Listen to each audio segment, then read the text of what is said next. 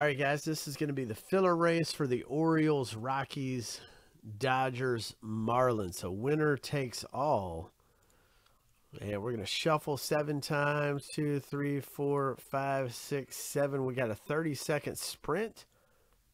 Five, four, three, two, one, go. Man, Corey M is out of the gates. Whoever wins this gets four teams in the break. Look at that length that Corey put on. James D up top. James D in lane three with the yellow shoes, James D. Just surpassed Corey. Don't count out Oliver G in lane two. Corey M at the bottom looks like he's gaining speed with five seconds to the finish line. James D up top in the yellow. James D with the yellow hair up top. It's red. James D with the win. James D. Wow. Nice job, man. What what a race.